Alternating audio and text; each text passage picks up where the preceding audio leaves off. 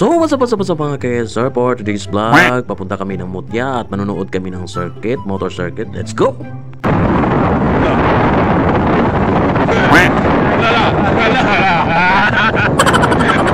Og naabot mi diri sa sinto sa Mutya og nangita mi diri og restruck sa motor circuit. Kaya among mga kauban among gipangita kay naa daw sila sa restruck sa motor circuit. Og naabot mi diri sa binyo sa restruck og nakita namo diri ang mga power kayong mga motor og mga gwapo nga driver. Wow. So sige mi gumilingi kay nakita mi sa among mga kauban. Kay wala lagi mi kabalo nga pista di diri. Nya hapit mi wala ka kaon. Ay wala di ka kabalo nga pista di diri. Luya. Og naispatan namo among mga kauban naman sa kilid gapahipi og singgit na lang tanig may kaon. Pero mo na kaon. May kaon!